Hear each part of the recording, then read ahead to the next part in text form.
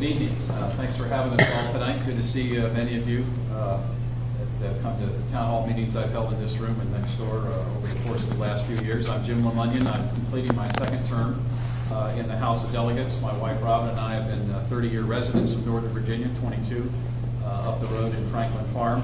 Our three children are all out of the house now. We're empty nesters of about a month ago, but they were all graduates of, uh, High School. Uh, We were an Oakton family for eight years.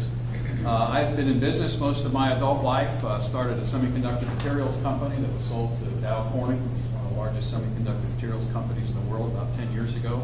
Helped another startup get off the ground since then. And my day job right now is uh, membership development, really marketing and sales for an Internet Trade Association uh, in Washington, D.C.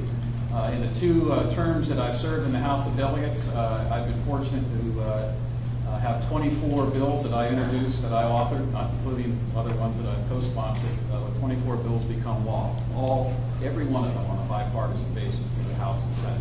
It won't surprise many of you who follow what I've done that uh, my focus is on transportation uh, and education issues. Uh, and that's what most of those bills have to do with. Three things I want to say about transportation, kind of where we've been, where we're going. Um, When I uh, was first elected in 2009, I said we need more money.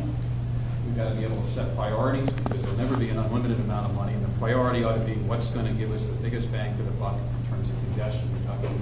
And third is how do we better synchronize land use and our transportation system. Uh, I think we've, we've, on a policy, stand, from a policy standpoint, a legislative standpoint, we've made a lot of progress on one and two.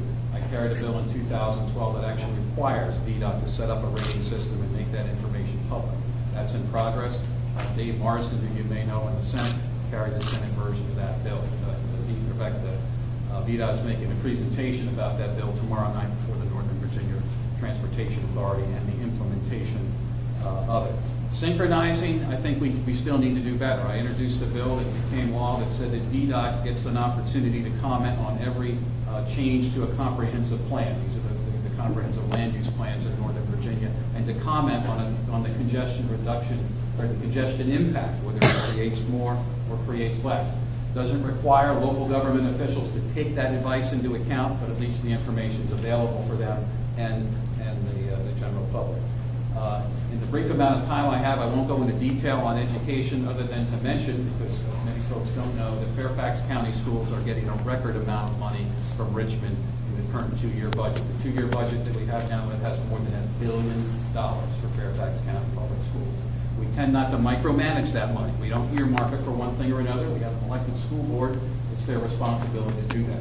We made a couple of exceptions for incentives for more science and math teachers uh, for school safety, and as Tom mentioned, we had the matching money for uh, the teacher pay hike. Um, I've been endorsed by the Virginia Education Association, in fact, uh, out of 140 members in the House uh, and Senate, uh, eight or nine of us were given- were designated as legislative champions, and it was my privilege to uh, to receive that award uh, earlier in the year. Uh, Third area I want to mention is, uh, is good government and government reform. It's bit of an all-encompassing idea, but the thing to mention is that we in Virginia have a balanced budget. We are not accumulating debt for future generations to pay, like the folks about 25 miles across the river. And it's, uh, it's something that I vote for and would expect to continue uh, to vote for. Uh, In going forward, since I only have a limited amount of time, I just want to second the comments that have been made on ethics reform. I'm confident that that will be done in the 2014 session. Uh, Still details to be worked on exactly what kind of reporting, what kind of things are acceptable or not. Uh, Oversight on transportation and education. We've done a lot of legislating in the last four years in both those areas. One of my frustrations with Congress is to keep passing bills year after year after year, and then stop to look back and say, well, it felt good when we passed that, but it really, did it really do any good? And I think we in Virginia got to be different. We've got to really look back and monitor the implementation legislative changes we've made, both on transportation and education, to make sure uh, that we're getting results.